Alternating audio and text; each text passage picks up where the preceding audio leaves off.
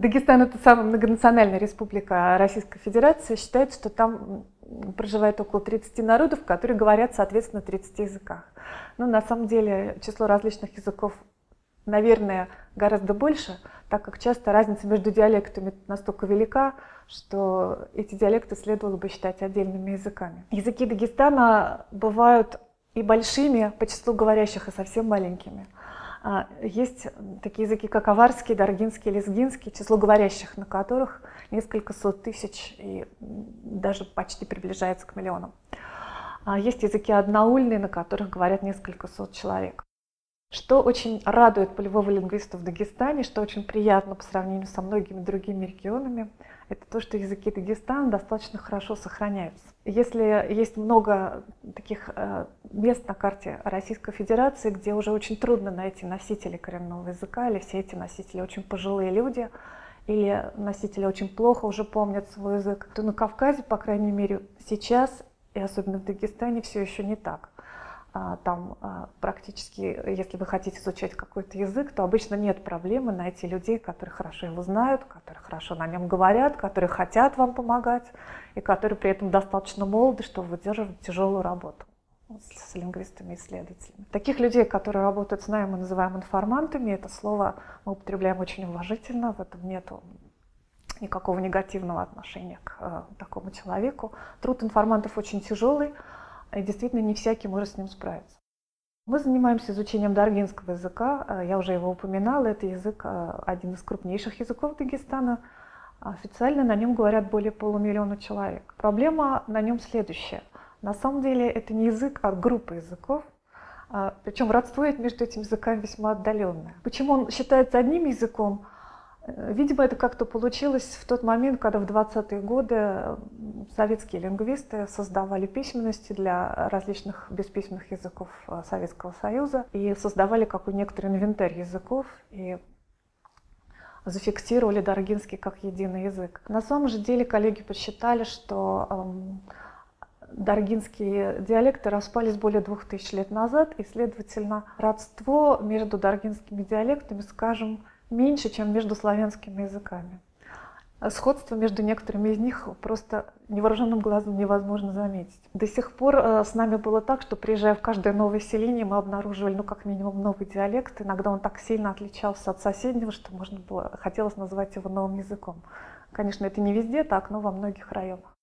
Очень интересно, что для Даргинского, как и для нескольких других языков Дагестана, создали в свое время литературный язык. А, он используется достаточно активно, на нем есть художественная литература, и проза, и поэзия, есть э, на нем э, газеты, другие средства массовой информации, и на нем, что очень важно для нас, ведется школьное обучение. Но оказывается, что наличие литературного языка не всегда помогает. Проблема в том, что дети э, в дошкольном возрасте изучают свой диалект. Когда они приходят в школу, они сталкиваются с литературным языком, который для многих абсолютно непонятен. Представь себе, что вас отправят в школу и заставят учиться на польском языке, например. Вот для некоторых разница такая или даже больше. Таким образом, хотя намерения у людей, которые создавали школу на даргинском языке, безусловно, были самые благие, то есть э, пытались предоставить возможность детям обучаться на родном языке, практически реализовать эти благие намерения очень сложно, потому что диалекты разные в каждом соседнем селении, и, естественно, школу на каждом диалекте создать невозможно.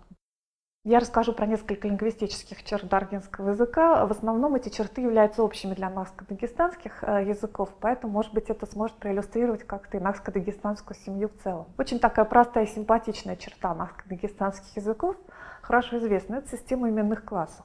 То есть это, в принципе, похоже на то, что в русском языке, то, что у существительных есть мужской, женский и средний род. Чем отличается даргинская система? Тем, что у них тоже есть мужской и женский средний род, но если в русском и других индоевропейских языках классификация по родам только в части случаев основана на значении, то э, в дагестанских языках связь со значением гораздо теснее. Если мы по-русски говорим о живых существах, то, как правило, обозначение женщин будут женского рода, а мужчин мужского. А, хотя и у нас есть исключения некоторые, да. Но если мы говорим о неживых существах, то совершенно непонятно, чем мотивировано то, что там, допустим, стена женского рода, потолок мужского, окно среднего. Вот в даргинском языке это невозможно. Там женского рода могут быть только женщины и никто больше. Мужского рода могут быть только мужчины и еще всемогущий Аллах. И к нейтральному роду относится все абсолютно остальное, даже животные, даже коровы, быки, овцы, там, и даже черти, шейтанты, относятся к нейтральному роду. И ни при каких обстоятельствах вы не можете употребить их как существительные а, женского или мужского рода. То есть такая непроходимая граница между людьми и людьми. В других наскадагестанских языках, в большинстве из них классы тоже есть, но иногда системы бывают более сложными, то есть классов не три, а там 4, 5 и так где-то до 8 бывает. Еще одна очень интересная черта, которая сначала пугает многих лингвистов, э, точнее не лингвистов, а скорее студентов, это очень сложные поддержные системы, в которых очень много форм, а, несколько десятков, и эти формы в основном выражают различные значения места, различные местонахождения. Сейчас я попробую объяснить, что имеется в виду. В большинстве нахско-дагестанских языков а, формы существительных со значением места выстроены как бы в три этажа. Сначала идет основа слова, потом к ней присоединяется некоторая морфема, которая означает ориентацию относительно некоторого объекта. Ну, например, если возьмем слово «гора», то можно присоединить морфему со значением нахождения внутри, это будет «в горе».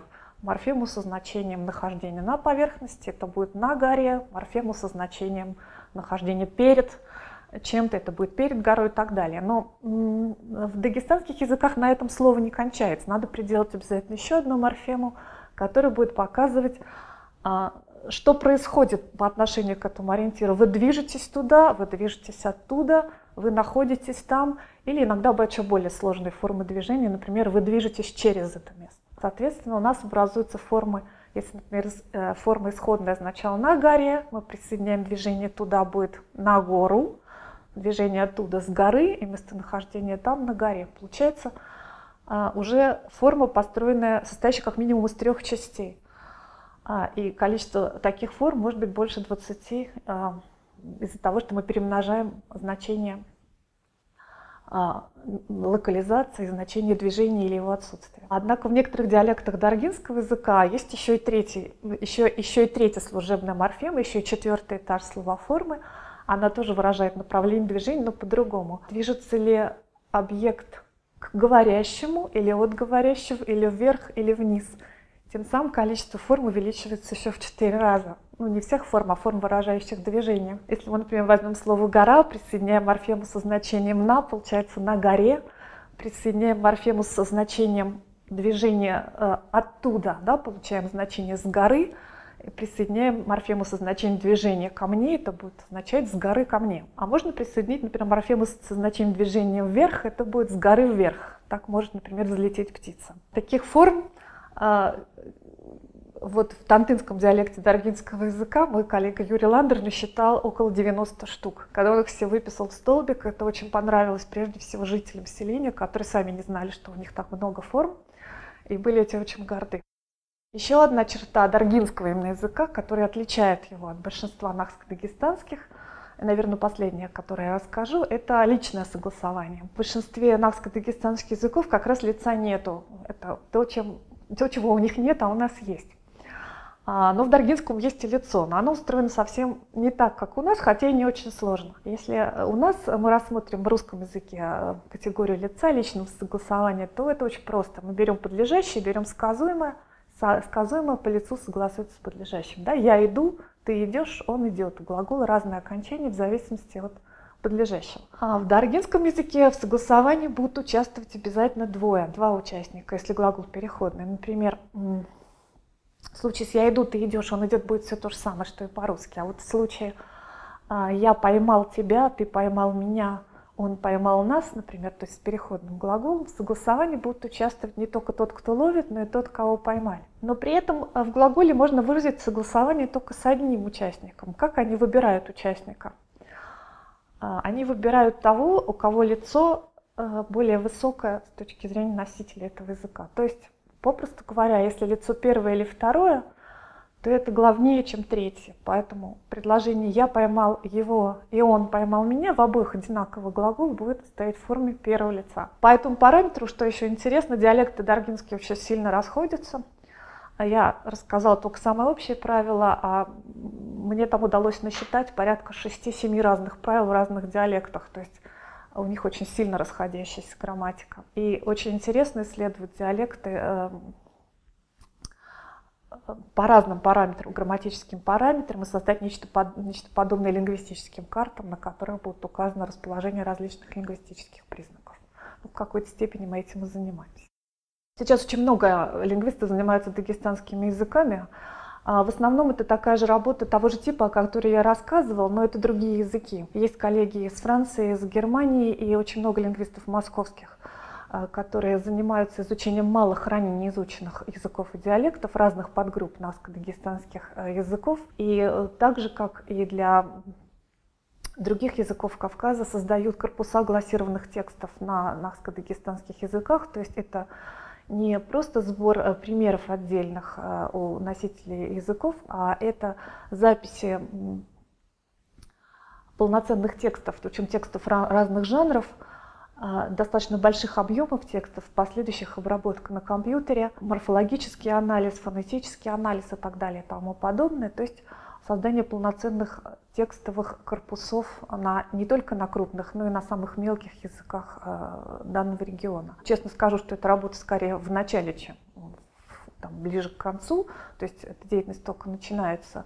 Но благодаря тому, что сейчас появилось очень много новых интересных компьютерных программ, позволяющих работать с языками то она сравнительно активизировала сейчас эту работу и у нас, и в некоторых других странах.